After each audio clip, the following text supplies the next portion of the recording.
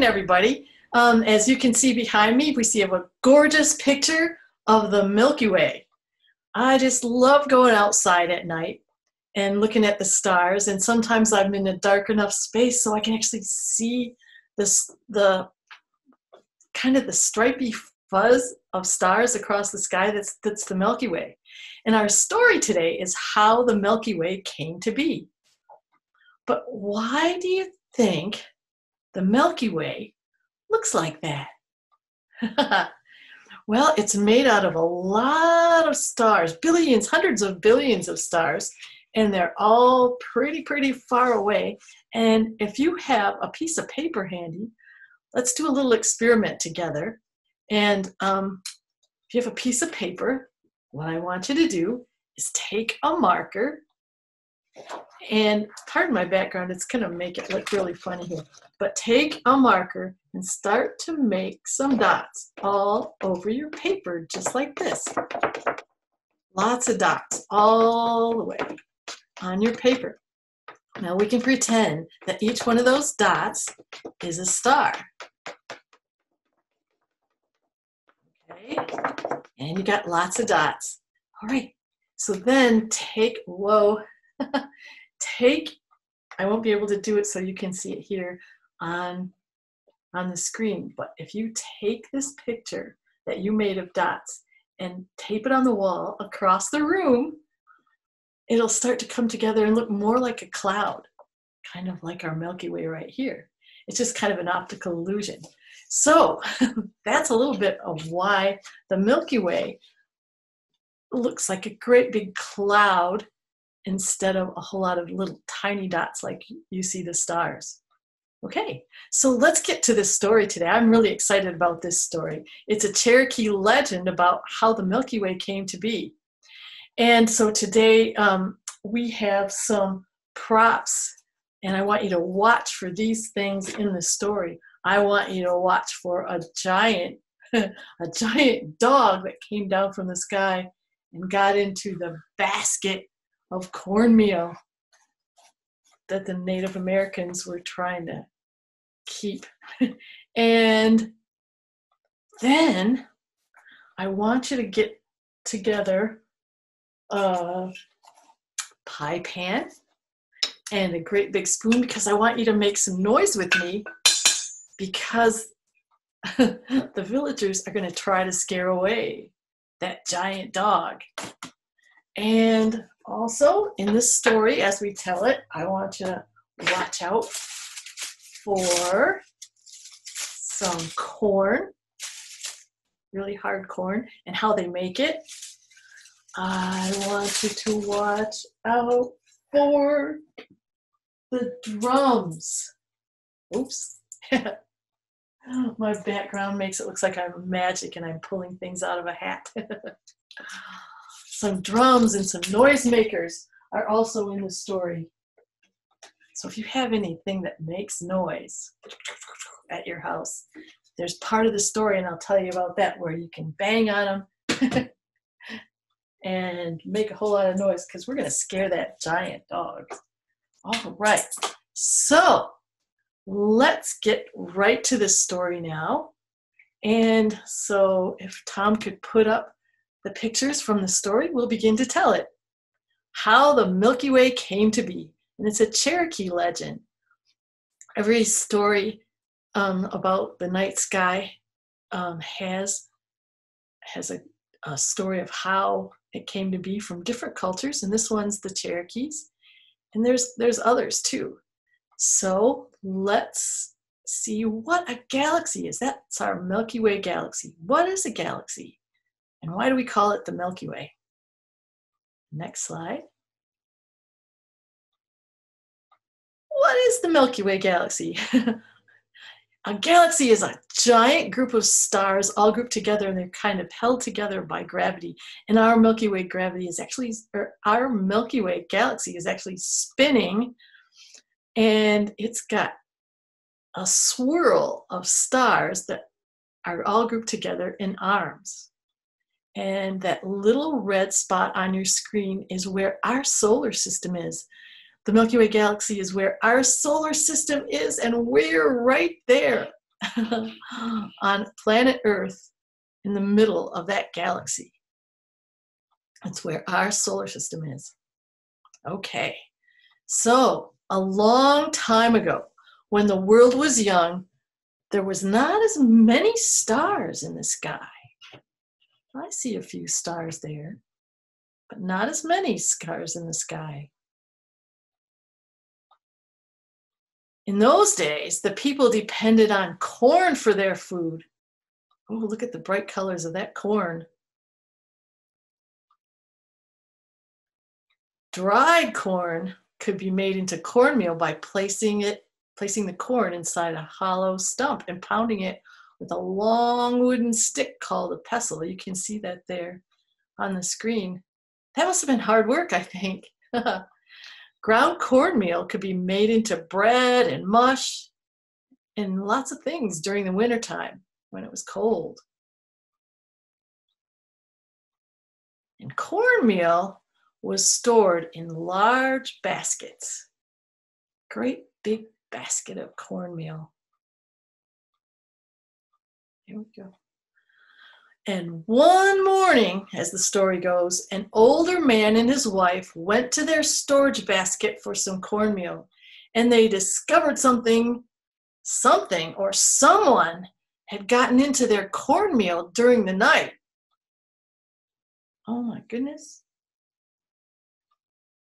They were very upset for no one in the Cherokee village stole from someone else.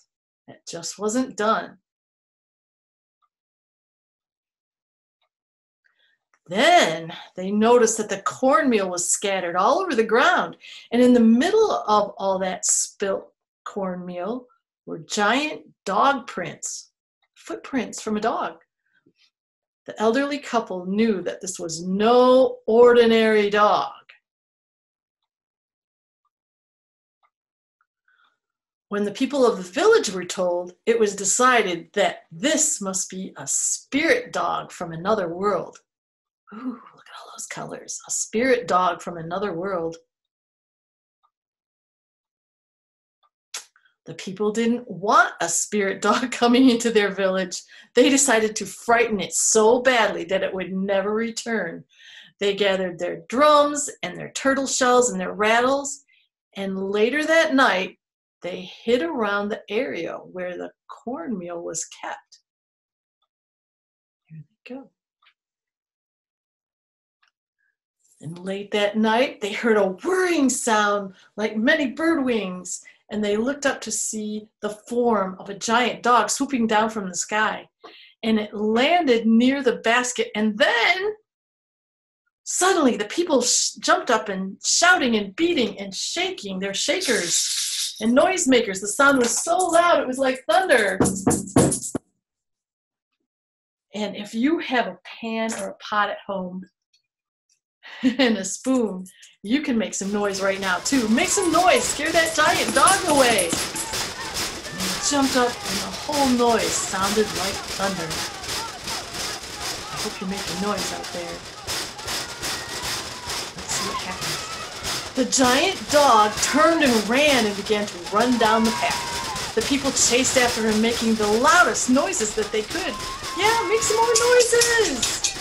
Shake some shakers, bang some pans, bang some drums. They made the loudest noises they could. And the dog ran to the top of a hill and leaped into the sky, and he spilled cornmeal as he ran from its mouth. Whoo! cornmeal's kind of powdery. There he goes. The giant dog ran across the black night sky until it disappeared from sight. But the cornmeal that had spilled from his mouth made a path way across the sky. Each grain of cornmeal became a star. Ooh, that's pretty.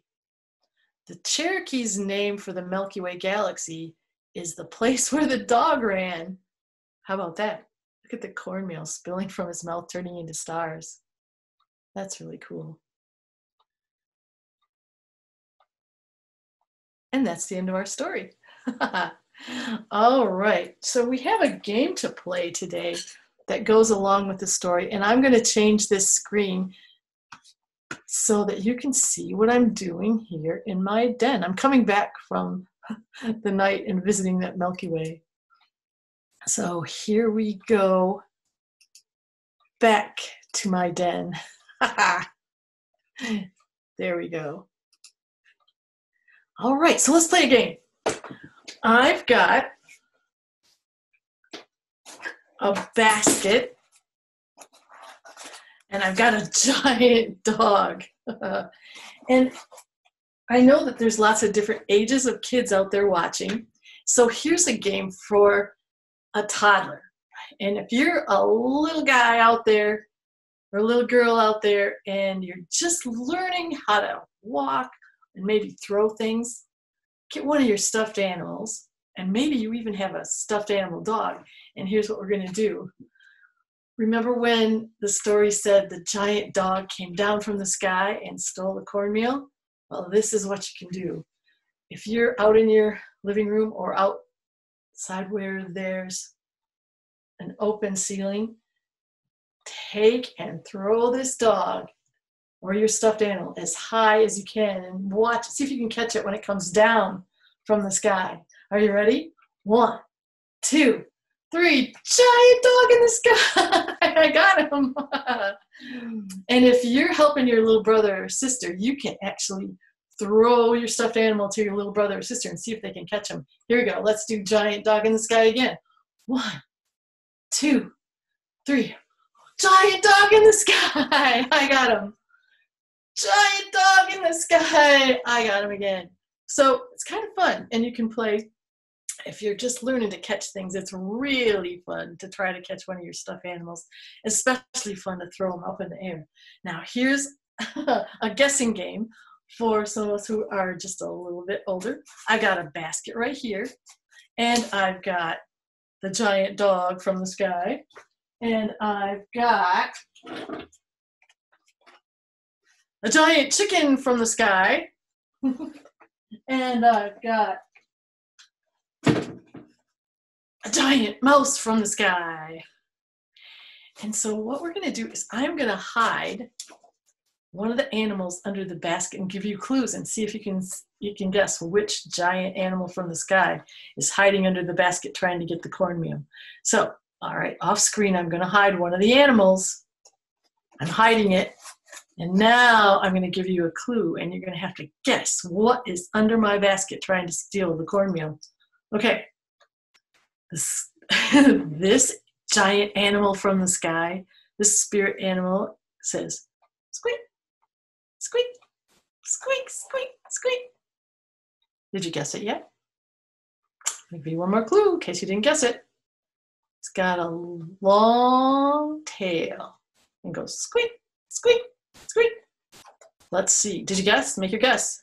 Here we go. It's the giant spirit mouse from the sky. Woo! All right. Okay, let's see. I'm going to hide another animal, you can't see underneath my basket.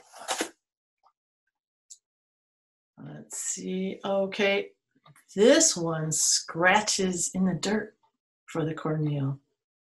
What? Hmm. What animal would scratch in the dirt for the cornmeal? Um, one more clue, if you haven't guessed yet.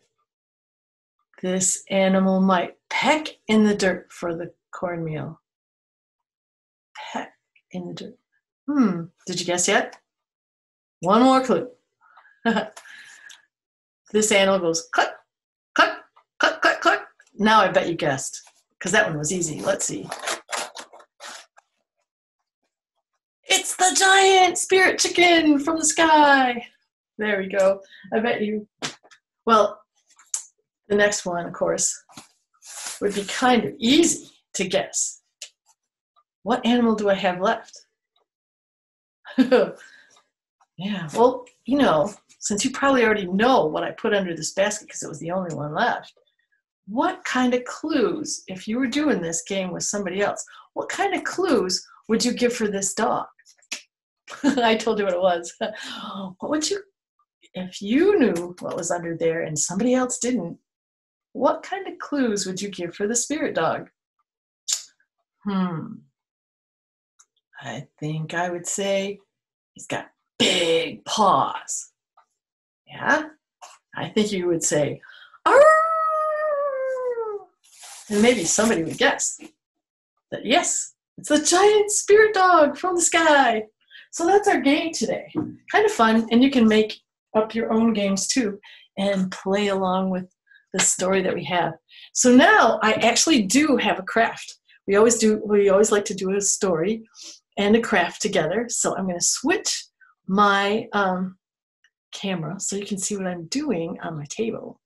We're going to make a galaxy out of whipped, not whipped cream, shaving cream. And let's see how we're going to do that. Okay, so on my table here today, I have a big plastic plate to hold the shaving cream. I have some shaving cream and I accidentally bought the wrong kind, so we're gonna see if this actually works or not. I'll talk about that again in a minute. I have a stirring stick. I have some watercolor paints that I'm gonna drip drop on it. I've got some couple of wooden sticks because I'm gonna scrape the whipped cream. I have some paper and I cut my paper into a circle and we'll do that together in a minute and I've got lots of paint to drip onto the shaving cream. Now I have um, liquid watercolor, but you can use food coloring or you can water down any other kind of paint and it will work. It's really cool. I also have some scissors and a bowl to make a circle pattern and a pencil. I think that's all I've got here. Oh, and if you have a, um, a little dish of paint, you can use a dripper dropper to drip that paint over the shaving cream. And if you don't, you can always just drop it on with a, with a paintbrush. So let's get started. So what I want is I want to make a galaxy. And our Milky Way galaxy was kind of like a spiral or a circle. So I cut my paper into a circle. And this is, I want to do a couple of them. So there's one already cut, but I'm going to show you how to trace a circle. I'm going to get this out of the way for a second. and trace around my bowl upside down with my pencil and I'm going to cut it out.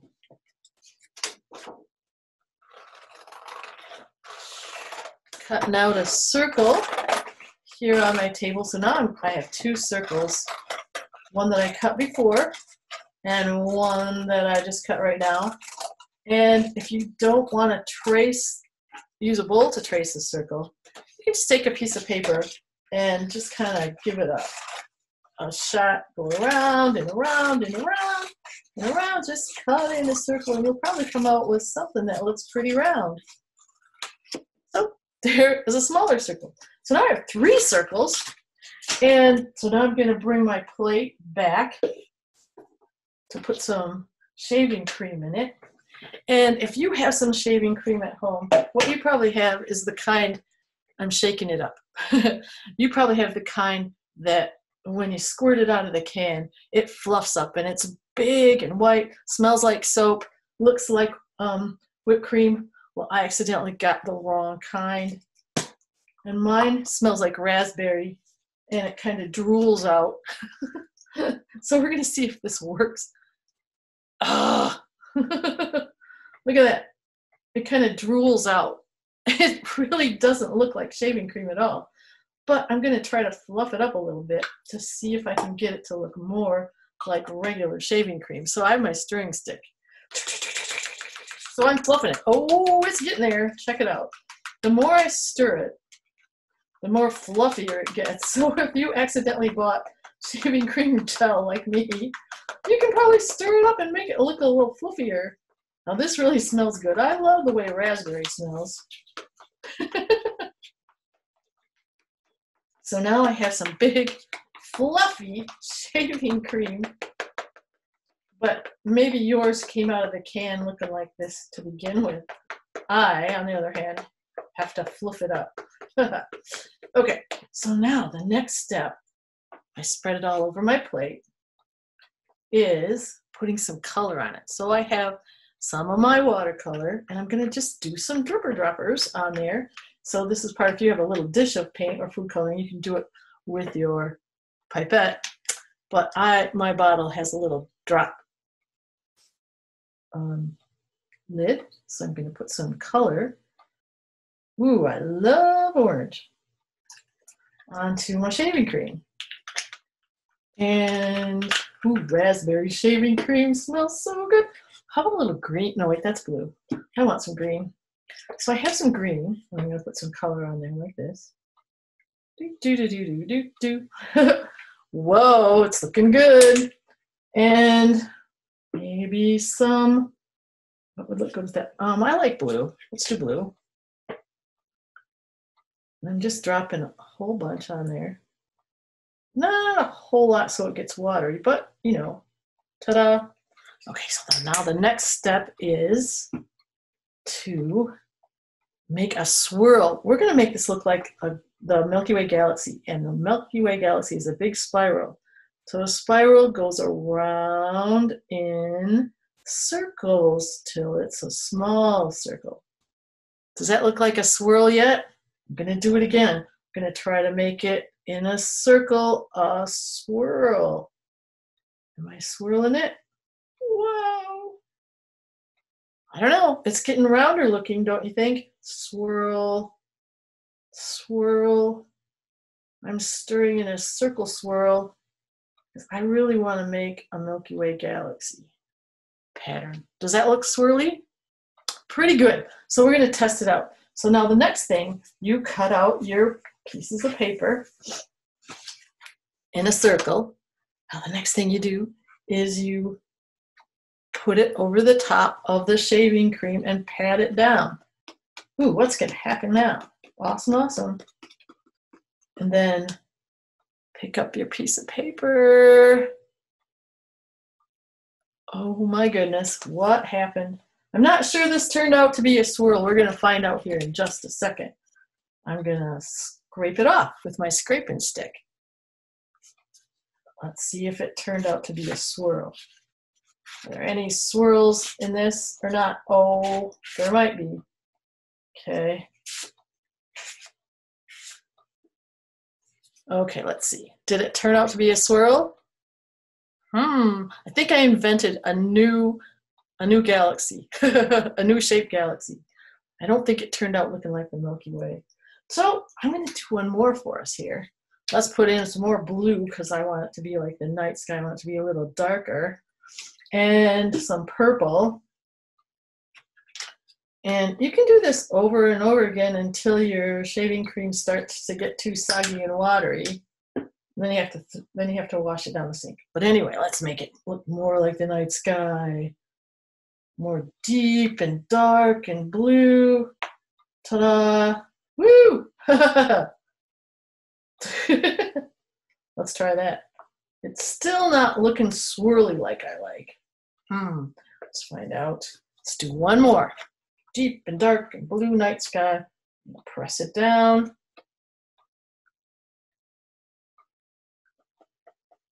And pick it up.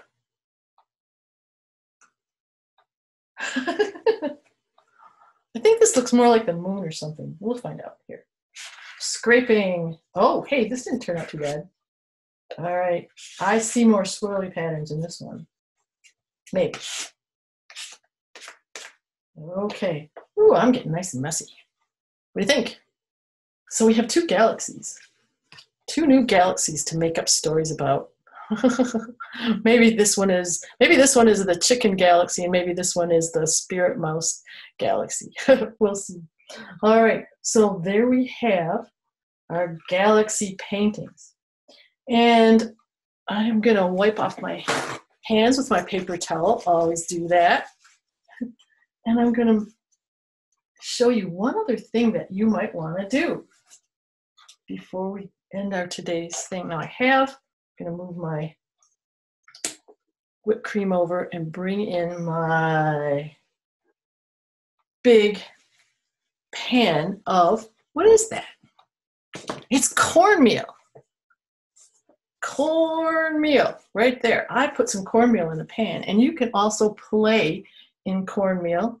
And I have my stirring stick right here. And I'm going to draw letters. I don't know if you can see this on the screen, but I'm going to practice drawing letters maybe with my finger and my hand. Just kind of play in that cornmeal because it really feels great. It's kind of grainy. Hmm. Yeah, there's the letter of my name.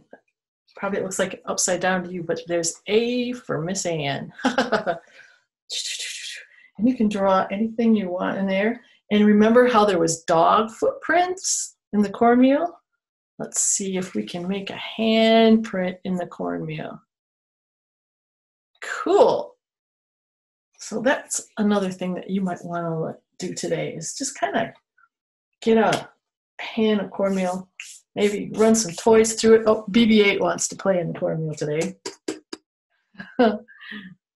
and kind of just get the feel of what cornmeal is all about. Or you can even make some corn muffins with your mom or somebody.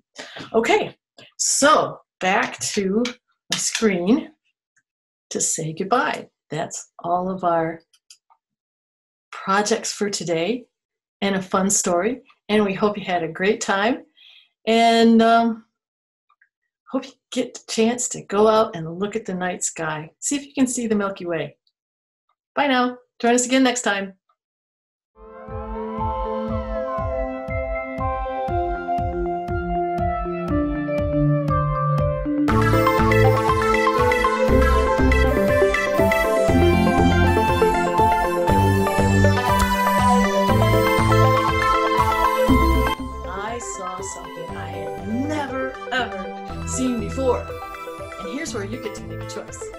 Was it ah, a giant Tyrannosaurus Rex?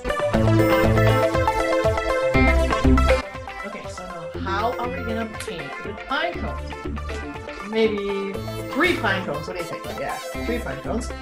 And um, then the fun starts. What's happening here? Well, when we pull back, on our little shooter here, that creates potential energy. And then when I let it fly, it turns that potential energy into kinetic energy. Kinetic energy is the energy of motion. And boom!